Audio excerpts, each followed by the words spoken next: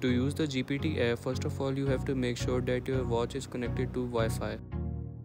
You can install the Nova GPT app from your Galaxy store.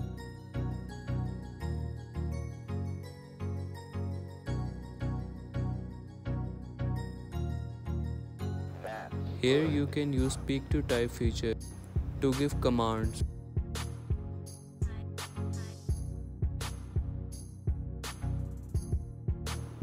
Like I have searched here.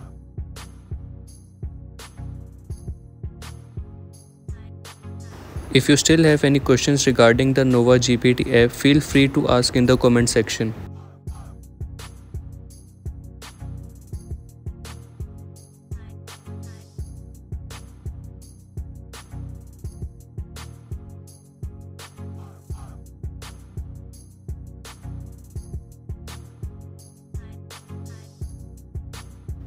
You can also listen the output by turning on the speaker.